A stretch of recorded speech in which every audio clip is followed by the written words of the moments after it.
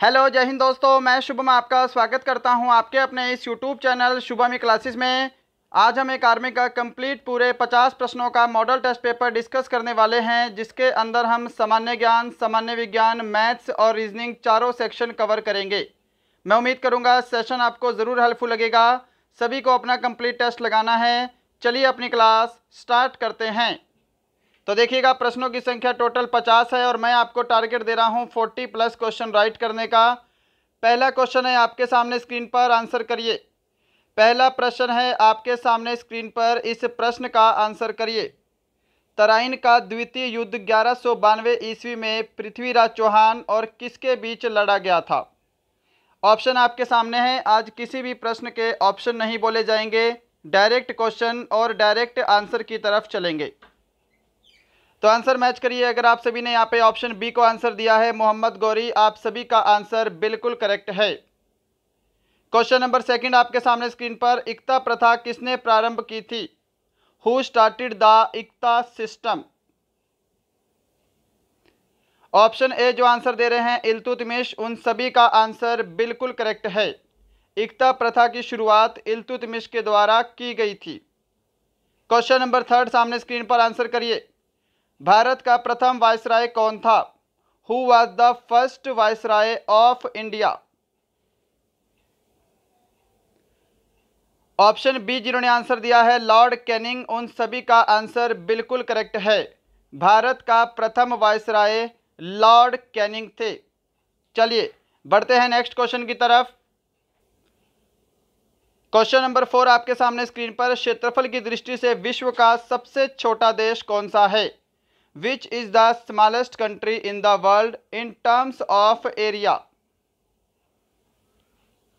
तो यहाँ पे जो भी यहाँ पे ऑप्शन डी को आंसर दे रहे हैं वेटिकन सिटी उन सभी का आंसर बिल्कुल करेक्ट है। टेस्ट सभी को कंप्लीट लगाना है। क्वेश्चन नंबर फाइव आपके सामने स्क्रीन पर। भारत और चीन के मध्य सीमा रेखा का निर्धारण किस वर्ष किया गया था? जल्दी से इस प्रश्न का आंसर करिए। In which year was the boundary line between India and China determined. तो देखिए, सबसे पहले आपको पता होना चाहिए, भारत और चीन के मध्य जो सीमा रेखा है, उसको क्या बोलते हैं? मैक मोहन रेखा बोला जाता है। मैक मोहन रेखा उसको बोलते हैं। और इसका निर्धारण सन 1914 में हुआ था। ऑप्शन आपका डी यहाँ पर बिल्कुल परफेक्ट आंसर है। क्या सभी ने ऑप्शन डी को आंसर किया है? चलिए क्वेश्चन नंबर सिक्स आपके सामने स्क्रीन पर आंसर करिए। कोलेरू झील किस राज्य में स्थित है? In which state is the Kolleru lake located तो कोलेरू झील जो है, यह आंध्र प्रदेश में है। ऑप्शन सी आपका बिल्कुल परफेक्ट आंसर है। जिन्होंने ऑप्शन सी को आंसर दिया है, उनका आंसर करेक्ट है। क्वेश्चन नंबर सेवन देखिए और इसका आंसर करिए। पटना किस नदी के किनारे स्थित है? Patna is situated on the banks of which river option D आपका करेक्ट आंसर रहेगा। पटना जो है यह गंगा नदी के किनारे स्थित है। जो भी ऑप्शन डी को आंसर दे रहे हैं, उनका आंसर करेक्ट है। क्वेश्चन नंबर एट आपके सामने स्क्रीन पर है। संविधान सभा की प्रारूप समिति में कुल कितने सदस्य थे? How many members were there in the drafting committee of the constituent assembly. Option आपका यहाँ पर सी बिल्कुल करेक्ट आंसर है। जिन्होंने सात आंसर किया है, उनका आंसर बिल्कुल राइट है। नेक्स्ट बढ़ते हैं क्वेश्चन नंबर नाइन की तरफ़। संविधान सभा की प्रारूप समिति के अध्यक्ष कौन थे? वेरी वेरी इंपॉर्टेंट और बहुत बार पूछा गया प्रश्न। Who was the chairman of the drafting committee of the constituent assembly option A जो आंसर दे रहे हैं बी आर अंबेडकर उन सभी का आंसर करेक्ट है। आंसर मैच करते जाइएगा, लास्ट में सभी का स्कोर कमेंट बॉक्स में, चाहिए ही चाहिए। क्वेश्चन नंबर दस देखिए जी सामने। राज्यपाल को कौन हटा सकता है? Who can remove the governor option D आपका करेक्ट आंसर होगा, राज्यपाल को राष्ट्रपति हटा सकता है। क्वेश्चन नंबर ग्यारह आपके सामने है, राष्ट्रीय युवा दिवस कब मनाया जाता है? इसका आंसर करिए। राष्ट्रीय युवा दिवस कब मनाया जाता है? अगर आप सभी ने यहाँ पे ऑप्शन ए को आंसर दिया है 12 जनवरी आपका आंसर करेक्ट है। साथ में 15 जनवरी आपको पता होना चाहिए, थल सेना दिवस मनाते हैं, आर्मी डे मनाया जाता है। 21 जून को क्या मनाया जाता है? अंतर्राष्ट्रीय योग दिवस। अंतर्राष्ट्रीय योग दिवस। और 22 मार्च को आपको पता है, विश्व जल दिवस के रूप में मनाते हैं। चलिए नेक्स्ट बढ़ते हैं। क्वेश्चन नंबर 12 की तरफ़ आपके सामने स्क्रीन पर इसका आंसर करिए। ज्ञानपीठ पुरस्कार किस क्षेत्र में दिया जाता है? In which field is the Jnanpith award given answer match करिए। क्या सभी ने ऑप्शन सी को आंसर दिया है? ज्ञानपीठ पुरस्कार साहित्य के क्षेत्र में दिया जाने वाला सर्वश्रेष्ठ पुरस्कार है। क्वेश्चन नंबर तेरह है आपके सामने, इसका आंसर करिए। पंचतंत्र की रचना किसने की है? Who composed the Panchatantra? Answer match करिए। जो भी ऑप्शन बी को आंसर दे रहे हैं, विष्णु शर्मा, उनका आंसर करेक्ट है। पंचतंत्र की रचना किसने की है? तो विष्णु शर्मा ने की है। क्वेश्चन नंबर आपके सामने चौदह है। स्क्रीन पर विश्व व्यापार संगठन की स्थापना किस वर्ष हुई थी? विश्व व्यापार संगठन यानी कि डब्ल्यूटीओ की बात कर रहे हैं। World trade organization. Option B आपका करेक्ट आंसर रहेगा। उन्नीस में डब्ल्यूटीओ की स्थापना हुई थी। और देखिएगा, इससे पहले इसको गेट के नाम से जाना जाता था। 1995 में इसे डब्ल्यूटीओ बनाया गया। क्वेश्चन नंबर पंद्रह है सेक्शन ए का लास्ट क्वेश्चन येन किस देश की मुद्रा है?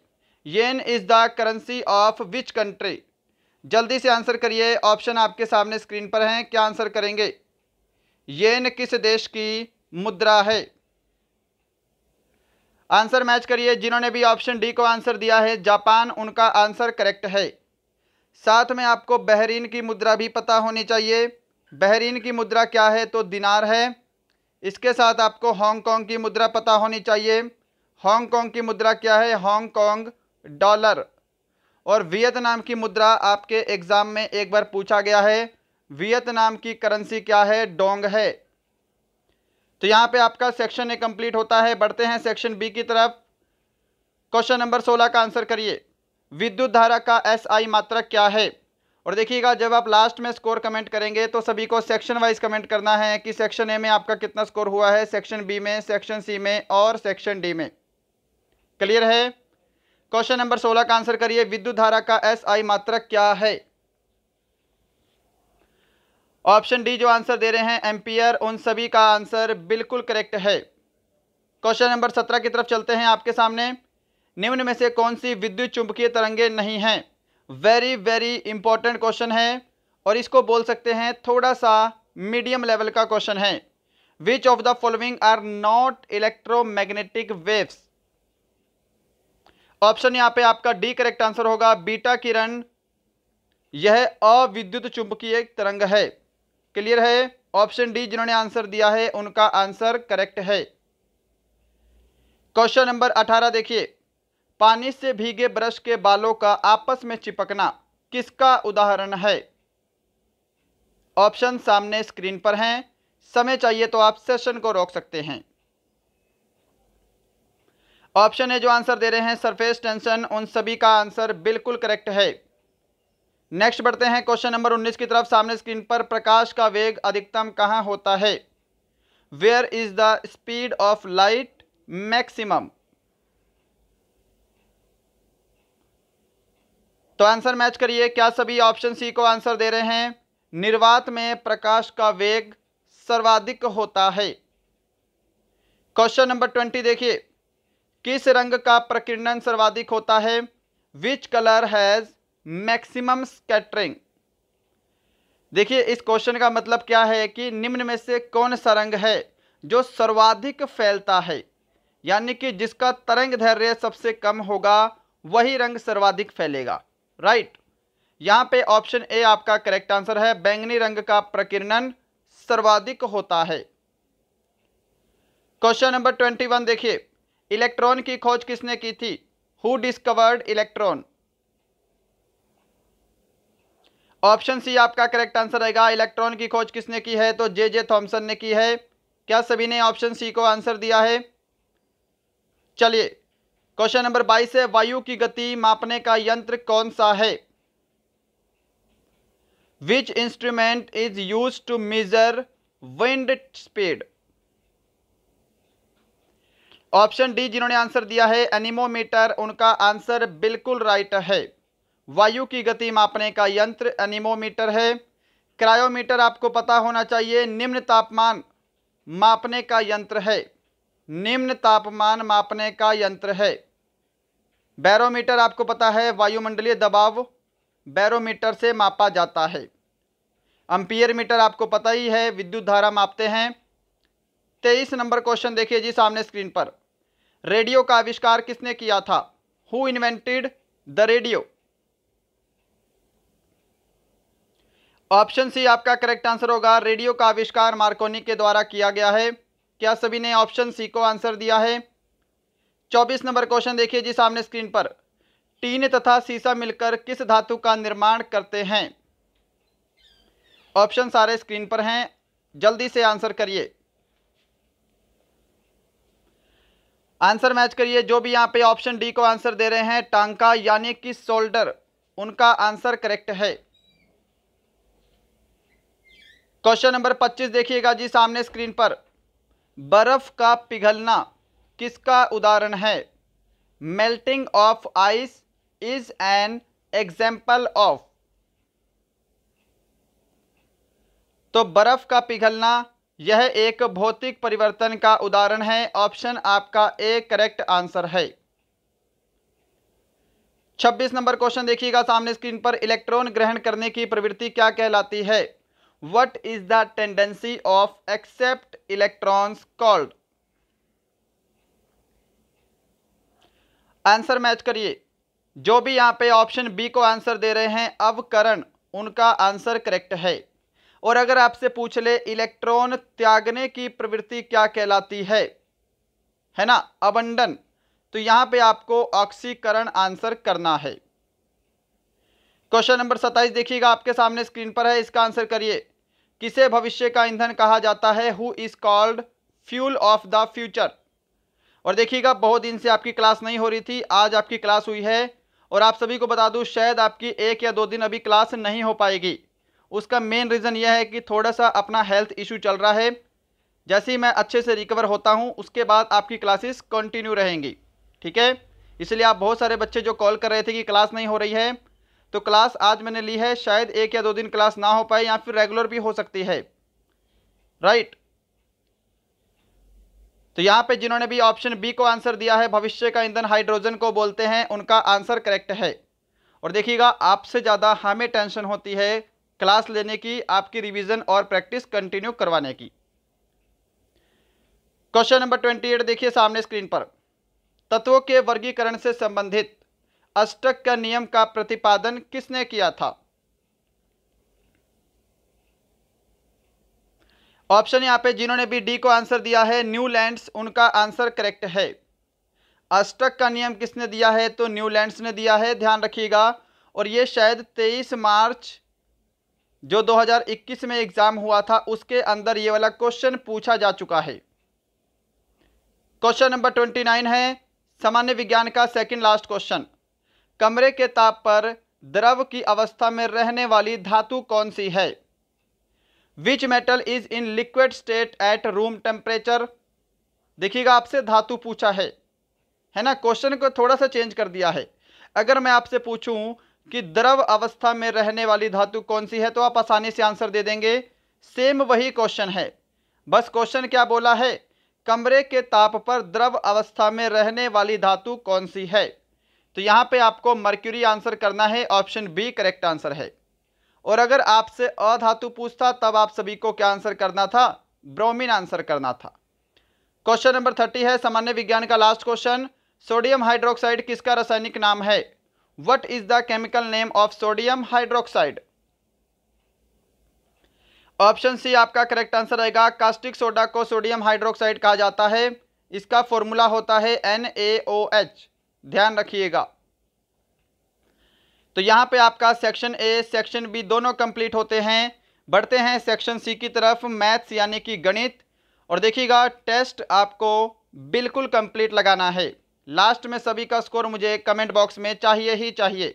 इसका आंसर करिए क्वेश्चन नंबर थर्टी वन आपके सामने स्क्रीन पर। सेशन को अभी तक लाइक नहीं किया है तो लाइक ज़रूर करिएगा। अगर आपका कोई फ्रेंड आर्मी की तैयारी करता है, उसे हमारा चैनल ज़रूर शेयर करेंगे। और यदि आपको लगता है हमारा चैनल आपके लिए हेल्पफुल है, आप इस हमारे चैनल पर नए हैं तो सभी को सब्सक्राइब करके बेल आइकन ज़रूर दबाना है। तो देखिए, बढ़ते हैं सॉल्यूशन की तरफ़। चार की पावर तीन कितना होता है? सिक्सटी फोर माइनस टू की पावर थ्री करेंगे तो ये आपका एट बन जाएगा। अब चौंसठ में से आपको आठ माइनस करना है तो यहाँ पे आपका फिफ्टी सिक्स ऑप्शन बी जो है, ये बिल्कुल करेक्ट आंसर है। क्या सभी ने ऑप्शन बी को आंसर किया है? चलिए, बढ़ते हैं नेक्स्ट क्वेश्चन की तरफ़। क्वेश्चन नंबर थर्टी टू आपके सामने स्क्रीन पर इसका आंसर करिए। अस्सी प्रतिशत को भिन्न में बदलिए। बिल्कुल इजी क्वेश्चन है आपके सामने। तो जब भी प्रतिशत को भिन्न में बदलना हो तो हम क्या करते हैं, इसको सौ से भाग कर देते हैं। सिंपल सी बात है। बीस चौके अस्सी और यहाँ पे बीस पंजे सौ। Four by five option C जो आंसर दे रहे हैं, उनका आंसर बिल्कुल करेक्ट है। क्वेश्चन नंबर तैतीस देखिएगा आपके सामने। जो क्वेश्चन इजी इजी है, उनको हम फटाफट से डिस्कस करेंगे। क्वेश्चन नंबर तैतीस देखिए। एक ग्राम कितने डेसीग्राम के बराबर होता है? इसका आंसर करिए। एक ग्राम कितने डेसीग्राम के बराबर होता है? जल्दी से आंसर करिए। इसमें तो आपको कोई भी सॉल्यूशन नहीं करना, ये तो आपको डायरेक्ट पता होनी चाहिए वैल्यू तो देखिए जो एक ग्राम है, इसके अंदर टोटल दस डेसीग्राम होते हैं। ऑप्शन आपका बी यहाँ पर बिल्कुल करेक्ट आंसर है। नेक्स्ट है क्वेश्चन नंबर थर्टी फोर आपके सामने। आपको एल्सियम ज्ञात करना है और वैल्यू आपको यहाँ पे फ्रैक्शन में दी हुई है। वैल्यू आपको दे रखी है टू बाई थ्री नेक्स्ट आपको दी है वन बाई फाइव नेक्स्ट आपको दी है सिक्स बाई फोर और नेक्स्ट वैल्यू आपको दी है फोर बाई टू तो देखिए, जब भी वैल्यू आपकी फ्रैक्शन में दी हो और आपको क्या निकालना है? एलसीएम निकालना हो। तो जो ऊपर वाली वैल्यू होती है, इनका हम एलसीएम लेते हैं और जो नीचे वाली वैल्यू है, इनका हम एचसीएफ लेते हैं। क्लियर है सभी को? तो देखिए, अगर हम ऊपर एलसीएम लेंगे तो ऊपर जो है आपका बारह एलसीएम आएगा और नीचे जो आपका एचसीएफ होगा, वो कितना आएगा? एक आएगा। तो यहाँ पे जिन्होंने भी ऑप्शन बी को आंसर दिया है, उनका आंसर बिल्कुल राइट है। चलिए क्वेश्चन नंबर पैंतीस की तरफ़ चलते हैं। आपके सामने स्क्रीन पर इसका आंसर करिए। किसी संबाहु त्रिभुज का क्षेत्रफल छत्तीस रूट तीन वर्ग सेंटीमीटर है। उसकी भुजा की लंबाई कितनी होगी? बिल्कुल सिंपल क्वेश्चन है आपके सामने। बस आपको वैल्यू पता होनी चाहिए, फॉर्मूला पता होना चाहिए और आंसर आपके सामने है। देखिए, संबाहु त्रिभुज का जो एरिया होता है, उसका फॉर्मूला क्या होता है? Root three by four A square. Clear? और आपको जो एरिया दिया है वो कितना दे रखा है यहाँ पे? छत्तीस रूट तीन आपको वैल्यू दे रखी है। क्लियर है सभी को? तो देखिए, ये रूट तीन से आपका यहाँ पे रूट तीन कैंसिल हो गया। ये चार इधर जाके जब तीन में मल्टीप्लाई होगा सॉरी यहाँ पे छत्तीस है है ना? ये चार इधर जाके जब छत्तीस में मल्टीप्लाई होगा तो यहाँ पे ए स्क्वेयर की वैल्यू कितनी बन जाएगी? छः चौके चौबीस का चार, हांसिल दो, चार तिया बारह और दो चौदह। यहाँ पे ए स्क्वेयर की वैल्यू बनेगी एक सौ चौवालीस। अगर ए स्क्वेयर की वैल्यू एक सौ चौवालीस है तो ए की वैल्यू कितनी बन जाएगी? बारह बन जाएगी। क्योंकि बारह का स्क्वेयर एक सौ चौवालीस होता है तो यहाँ पे ऑप्शन डी आपका बिल्कुल करेक्ट आंसर है। उस संबाहु त्रिभुज की प्रत्येक भुजा की लंबाई 12 सेंटीमीटर है। 36 नंबर क्वेश्चन देखिए जी आपके सामने स्क्रीन पर। किसी संख्या में उसका आधा जोड़ने पर और फिर दो घटाने पर हमें 16 प्राप्त होता है, वह संख्या क्या है? कैसे करेंगे इस क्वेश्चन को? देखिए, माना मैंने वह संख्या क्या है? एक्स है। आप ऑप्शन से भी कर सकते हैं, इसमें कोई इशू नहीं है, पर मैं बेसिक से लेकर चलूँगा। माना मैंने वह संख्या एक्स है और इसमें उसका आधा जोड़ा है। एक्स में हमको क्या जोड़ना है? एक्स बाई एक्स बटे दो जोड़ना है, क्योंकि इसका आधा जोड़ना है। राइट अब इसका आधा जोड़िए पहले। इसका हम आधा जोड़ेंगे तो यहाँ पे कितना बनेगा? टू एक्स प्लस एक्स और डिवाइड बाई आपका टू हो जाएगा। राइट? और फिर हमको क्या करना है? दो माइनस करना है। उसके बाद हमें 16 प्राप्त हो रहा है। यही है ना वैल्यू? अब देखिए, अब पहले आपको ये वाली वैल्यू जो है, इसको भी सॉल्व करना पड़ेगा। तो इसको एल्शियम लेकर सॉल्व करेंगे। दो दूनी कितने होते हैं? चार होते हैं। इसको मैं क्या करता हूँ? यहाँ पे सॉल्व कर लेता हूँ। राइट? ऊपर वाली लोकेशन में इसको सॉल्व करेंगे। तो यहाँ पर देखिए two X plus X minus four divide by two ये आपका सोल्व करके बनेगा और इसकी वैल्यू आपको सोलह दी है। तो ये दो इधर जाके जब सोलह में मल्टीप्लाई होगा तो यहाँ पे कितना बन जाएगा? यहाँ पे आपका थर्टी टू बन जाएगा। क्लियर ये माइनस का फोर इधर जाके बत्तीस में जमा हो जाएगा तो यहाँ पे टोटल वैल्यू कितनी बन जाएगी? सब कुछ माइनस करके मैं यहाँ पे लिख लेता हूँ थर्टी सिक्स। क्लियर है सभी को? अब यहाँ पे सॉल्व कर लीजिए। यहाँ पे दो एक्स है और यहाँ पे एक्स है।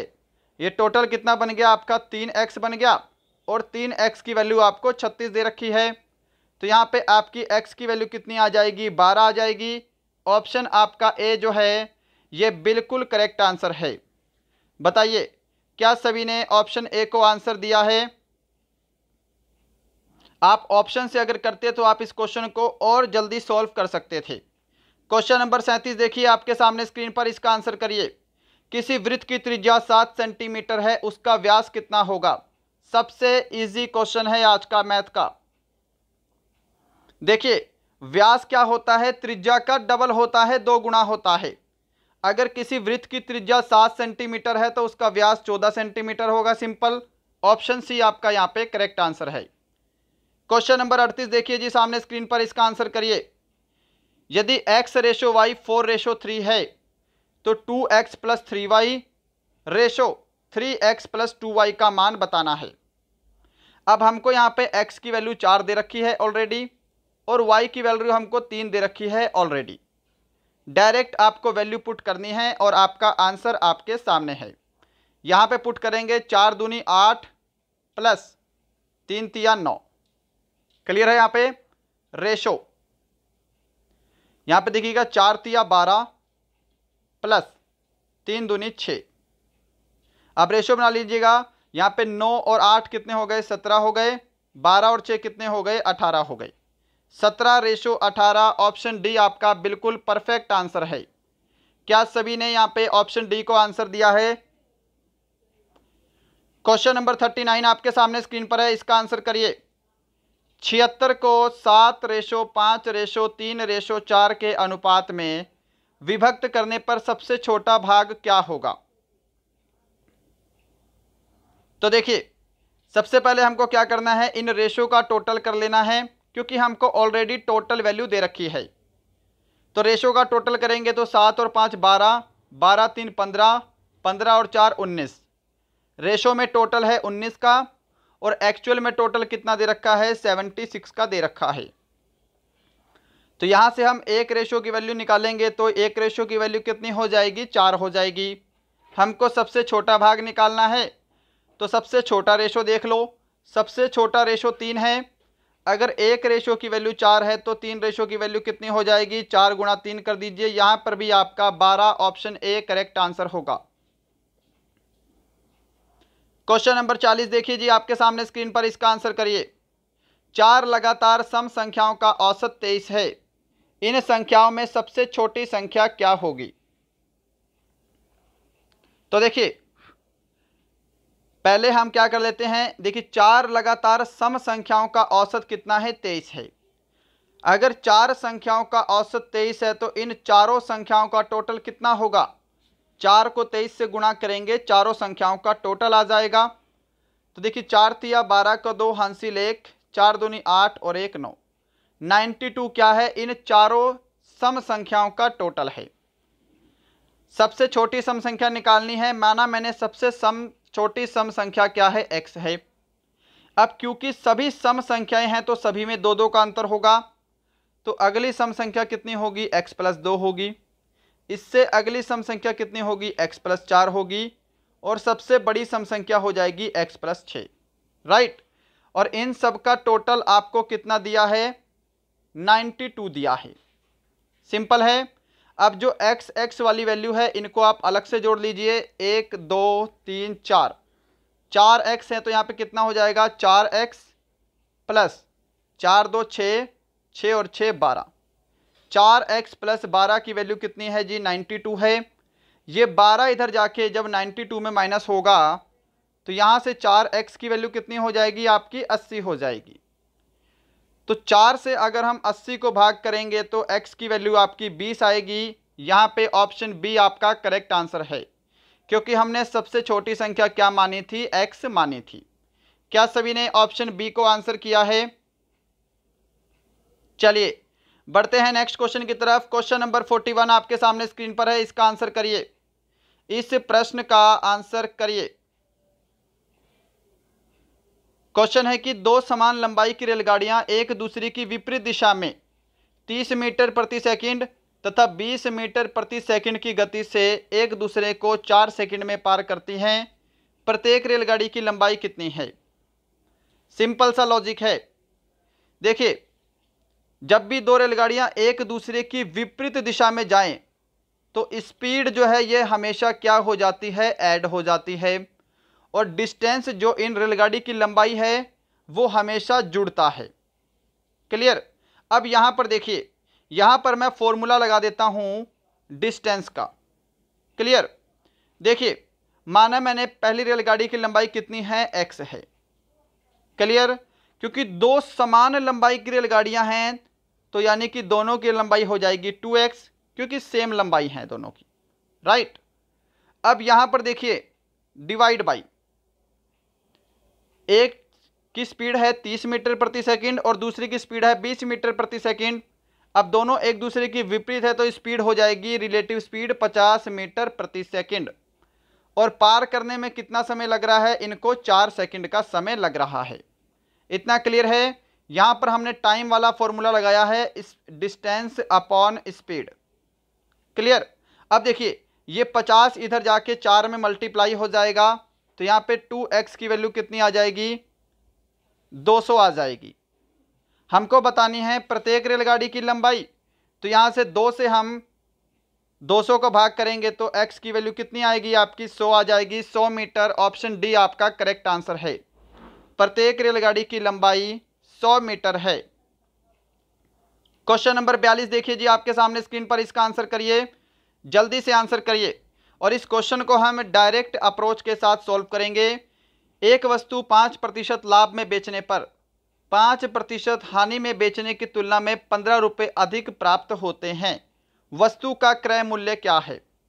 क्रय मूल्य यानी कि सौ प्रतिशत की वैल्यू आपको बतानी है।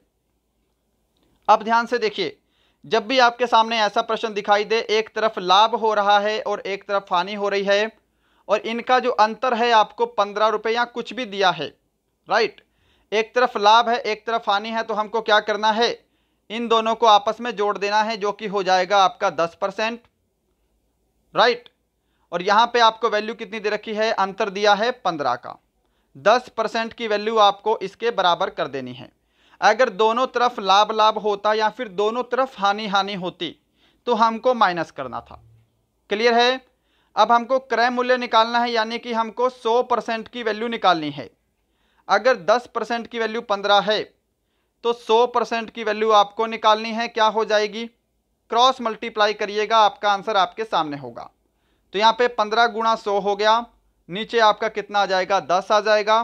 ज़ीरो से आपकी ज़ीरो कैंसिल एक सौ आपका क्रय मूल्य होगा। ऑप्शन बी करेक्ट आंसर है। क्या सभी ने ऑप्शन बी को आंसर दिया है? चलिए क्वेश्चन नंबर फोर्टी थ्री की तरफ़ चलते हैं। आपके सामने स्क्रीन पर इसका आंसर करिए। कौन सी धनराशि दो वर्षों में चार प्रतिशत वार्षिक चक्रवृद्धि ब्याज की दर से तेरह सौ बावन रुपये हो जाएगी? अब इस क्वेश्चन को हम क्या करते हैं? प्रिंसिपल रेशो अमाउंट वाले फॉर्मूले से सॉल्व करेंगे। अमाउंट मतलब समझते हो मिश्र धन, और प्रिंसिपल क्या होता है, आपका मूलधन होता है। अब इस क्वेश्चन को करने के लिए हम क्या करेंगे? ये तेरह सौ बावन रुपये हो जाएगी, ये आपको अमाउंट दे रखा है मिश्रधन दे रखा है। क्लियर? अब देखिए, सबसे पहले क्या करना है, स्टेप देखिए। ये आपको जो दर दे रखी है, चार प्रतिशत, इसको हम फ्रैक्शन में लिख लेंगे, चार बटा सौ करेंगे तो ये आपका एक बटा पच्चीस बन जाएगा। अब नीचे वाली जो वैल्यू है पच्चीस, ये आपकी मूलधन की वैल्यू हो जाएगी। राइट अब पच्चीस है, ऊपर क्या है? एक है। अगर हम पच्चीस में एक जोड़ दें, जो कि ब्याज है तो ये 26 बन जाएगा और ये 26 क्या हो जाएगा? आपका मिश्रधन हो जाएगा। आपको ऐसे लिखना है। अब क्योंकि समय दो वर्ष का दिया है तो आपको क्या कर देना है? इनके ऊपर स्क्वेयर कर देना है। 25 का स्क्वायर कितना होता है? 625 26 का स्क्वायर कितना होता है? छः सौ छिहत्तर होता है। क्लियर अब देखिए ध्यान से। यहाँ पे अमाउंट जो है, ये रेशो में छः सौ छिहत्तर है, परंतु एक्चुअल में तेरह है। यानी कि छः सौ छिहत्तर की वैल्यू कितनी है रेशो में? तेरह दे रखी है। यहाँ से एक रेशो की वैल्यू निकाल लीजिए। यहाँ से एक रेशो की वैल्यू कितनी आ जाएगी? दो के बराबर आ जाएगी। क्योंकि छः सौ छिहत्तर को अगर हम दो से गुणा करें तो तेरह प्राप्त होता है। हमको मूलधन निकालना है। अगर एक रेशो की वैल्यू दो है, मूलधन का रेशो कितना है? 625 है। तो दो को 625 से गुणा करना है आपको, और यहाँ पे तेरह सौ पचास रुपये सॉरी यहाँ पे आपका बारह सौ पचास रुपये करेक्ट आंसर होगा। क्या सभी ने ऑप्शन डी को आंसर किया है? जिन्होंने ऑप्शन डी को आंसर दिया है, उनका आंसर करेक्ट है। ऐसे क्वेश्चन को आप डायरेक्ट भी सॉल्व कर सकते हैं इस तरीके से प्रिंसिपल रेशो अमाउंट वाले तरीके से। चलिए, बढ़ते हैं नेक्स्ट क्वेश्चन की तरफ़। क्वेश्चन नंबर फोर्टी फोर आपके सामने। क्वेश्चन नंबर फोर्टी फोर है, इसका आंसर करिए। एक पासे को फेंका जाता है तो ऊपर चार आने की प्रायिकता कितनी होगी? सिंपल सा क्वेश्चन है, देखिए। एक पासे में कितने अंक होते हैं? टोटल छः अंक होते हैं। एक, दो, तीन, चार, पाँच छ। राइट अब हमको बोला है टोटल चार आने की प्रायिकता कितनी होगी? टोटल सैंपल स्पेस कितने हैं? यहाँ पे छः हैं। अगर हम एक पासे को एक ही बार फेंकेंगे तो चार जो है वो कितनी बार आ सकता है? एक ही बार आ सकता है। तो यहाँ पे one by six option C आपका राइट आंसर है। क्या सभी ने यहाँ पे ऑप्शन सी को आंसर दिया है? चलिए, यहीं पर देखिए आपसे कई क्वेश्चन पूछ सकता है। आपसे पूछ सकता है, सम संख्याएँ आने की प्रायिकता कितनी होगी? तो टोटल तीन सम संख्याएँ हैं। तो यहाँ पे आपका थ्री बाई सिक्स हो जाएगा, यानी कि वन बाई टू आंसर आ जाएगा। ऐसे ही आपको विषम संख्याएँ भी पूछ सकता है, आपसे प्राइम नंबर भी पूछ सकता है। क्वेश्चन नंबर फोर्टी फाइव है मैथ का लास्ट क्वेश्चन इसका आंसर दीजिए। इसके बाद लास्ट के पाँच प्रश्न आपके रीजनिंग के हैं। क्वेश्चन पढ़िए, और थोड़ा सा इंपॉर्टेंट क्वेश्चन है, अच्छे लेवल का क्वेश्चन है। पंद्रह वर्ष बाद एक आदमी उससे चार गुना बड़ा हो जाएगा जितना वह पंद्रह वर्ष पूर्व था। उसकी वर्तमान आयु क्या है? देखिए, यहाँ पर जो बीच वाली लाइन है, इसको मैं लिख लेता हूँ प्रेजेंट राइट यहाँ पे लिख लेता हूँ मैं ये लाइन पास्ट की है, और जो नीचे वाली लाइन है, ये मैं कर देता हूँ फ्यूचर की। क्लियर देखिए, बोला है कि पंद्रह वर्ष बाद एक आदमी, उससे चार गुना हो जाएगा जितना वह पंद्रह वर्ष पूर्व था। अब माना मैंने वह व्यक्ति पंद्रह वर्ष पूर्व कितनी आयु का था एक्स आयु का था। पंद्रह वर्ष पहले। तो वर्तमान में कितना हो जाएगा एक्स प्लस पंद्रह का हो जाएगा। राइट है ना? और फ्यूचर में कितने का हो जाएगा? पंद्रह वर्ष बाद। तो पंद्रह वर्ष बाद यह एक्स प्लस तीस का हो जाएगा। इतना क्लियर है सभी को? अब यहाँ पर ध्यान से देखिए। कि वह आदमी अपने पंद्रह वर्ष पूर्व की आयु का चार गुना हो जाता है। पंद्रह वर्ष पहले उसकी आयु एक्स थी तो वह चार गुना हो जाएगा। पंद्रह वर्ष बाद तो वो कितना हो जाएगा? फोर एक्स हो जाएगा। क्या इतना सभी को समझ में आया है? यानी कि x प्लस तीस की जो वैल्यू है, वो किसके बराबर है? चार एक्स के बराबर है। इतना क्लियर है? अब ये x इधर जाके जब चार एक्स में माइनस होगा तो यहाँ पे तीस बराबर कितना बनेगा? तीन एक्स बनेगा। राइट तीन से हम तीस को भाग करेंगे तो x की वैल्यू कितनी हो जाएगी? दस हो जाएगी। अब यहाँ पर समझिए, x की वैल्यू कितनी आ गई? दस आ गई। और x हमने क्या माना था? पंद्रह वर्ष पहले की आयु थी x, जो कि है आपकी दस वर्ष। आपको बोला है, वर्तमान आयु ज्ञात करनी है। अब क्योंकि ये पंद्रह वर्ष पहले की आयु है तो वर्तमान आयु कितनी हो जाएगी? दस प्लस पंद्रह कर देंगे तो ट्वेंटी फाइव ईयर आपका ऑप्शन सी करेक्ट आंसर है। क्या सभी ने यहाँ पे ऑप्शन सी को आंसर दिया है? तो यहाँ पे आपका मैथ का सेक्शन कंप्लीट होता है। बढ़ते हैं नेक्स्ट क्वेश्चन पे। क्वेश्चन नंबर आपका फोर्टी सिक्स है। रीजनिंग का क्वेश्चन इसका आंसर करिए। लास्ट के पाँच प्रश्न है, इसके बाद आपकी छुट्टी है। कि हाइग्रोमीटर अगर आर्द्रता से संबंधित है तो बैरोमीटर किससे संबंधित होगा? तो देखिए, हाइग्रोमीटर से हम आर्द्रता मापते हैं तो बैरोमीटर से हम क्या मापेंगे? दबाव मापेंगे। ऑप्शन आपका बी जो है, ये करेक्ट आंसर है। क्वेश्चन नंबर फोर्टी सेवन है आपके सामने, और इसका आंसर कर दीजिए। क्वेश्चन नंबर फोर्टी सेवन का आंसर करिए। आपको बोला है कि किसी कोड भाषा में प्लांट को Q M B O U लिखा जाता है। तो उसी कोड भाषा में ग्रांट को कैसे लिखा जाएगा? देखिए, सिंपल सी है, यहाँ पे क्या है? सिर्फ़ और सिर्फ़ प्लस वन प्लस वन किया हुआ है।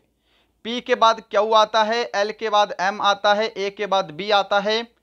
सिर्फ़ प्लस वन का लॉजिक लगा है। तो यहाँ पे देखिए जी के बाद क्या आएगा? जी के बाद आपका एच आएगा आर के बाद क्या आएगा? आपका एस आएगा ए के बाद बी एन के बाद ओ टी के बाद यू ये देख लीजिए कौन से ऑप्शन है और वही आपका ऑप्शन करेक्ट आंसर होगा। यहाँ पर जिन्होंने भी ऑप्शन ए को आंसर किया है, उनका आंसर करेक्ट है। क्वेश्चन नंबर आपके सामने 48 है, इसका आंसर करिए। निम्नलिखित में से विषम पद का चयन करें। देखिए, यहाँ पे जो भी ऑप्शन सी को आंसर दे रहे हैं, सिक्का उनका आंसर करेक्ट है। ये सभी क्या है? देखिए, रुपया भी जो है, यह क्या है? मुद्रा है। भारत की और बहुत सारी एशियन कंट्री की। ऐसे ही लीरा भी क्या है? एक मुद्रा है, दिनार भी क्या है? मुद्रा है। परंतु सिक्का मुद्रा नहीं है। देखिए, रुपए में भी सिक्का होता है, लीरा में भी सिक्का हो सकता है, इसमें भी सिक्का हो सकता है। तो यहाँ पे जिन्होंने भी ऑप्शन सी को आंसर दिया है, उनका आंसर करेक्ट है। क्वेश्चन नंबर फोर्टी नाइन है आज का सेकंड लास्ट क्वेश्चन, इसका आंसर करिए। जल्दी से आंसर करिए। कौन सा लॉजिक लग रहा है? यहाँ पे आपकी कौन सी संख्या आएगी? तो यहाँ पर देखिएगा क्या हो रहा है, माइनस तीन हो रहा है। तेरह में से तीन करेंगे माइनस दस दस में से तीन माइनस करेंगे सात सात में से तीन माइनस किया चार, और चार में से तीन माइनस करेंगे तो एक, ऑप्शन सी करेक्ट आंसर है। क्वेश्चन नंबर फिफ्टी है आज का लास्ट क्वेश्चन, इसका आंसर करिए जल्दी से। यहाँ पे कौन सा लॉजिक लग रहा है, इसका आंसर जल्दी से करिए। तो बढ़ते हैं सॉल्यूशन की तरफ़, देखिए। बारह और दो कितने होते हैं? चौदह। चौदह और तीन कितने होते हैं? सत्रह। सत्रह और चार कितने होते हैं? इक्कीस। इक्कीस और पाँच कितने होते हैं? छब्बीस। तो छब्बीस में आगे हमको छः जोड़ना पड़ेगा। छब्बीस और छः कितने हो जाएँगे? बत्तीस हो जाएँगे। ऑप्शन आपका सी यहाँ पे बिल्कुल करेक्ट आंसर हो जाएगा। क्या सभी ने ऑप्शन सी को आंसर दिया है? तो दोस्तों, ये थे आपके आज के पूरे के पूरे पचास प्रश्नों का मॉडल पेपर आर्मी का। मैं उम्मीद करूँगा सेशन आपको ज़रूर हेल्पफुल लगा होगा। बताइएगा इन पचास प्रश्नों में आपके कितने क्वेश्चन करेक्ट हुए हैं। सभी को स्कोर जो है ये सेक्शन वाइज कमेंट करना है कि सेक्शन ए में कितने राइट हुए हैं सेक्शन बी में सेक्शन सी में और सेक्शन डी में। लाइक शेयर एंड सब्सक्राइब ज़रूर करिएगा।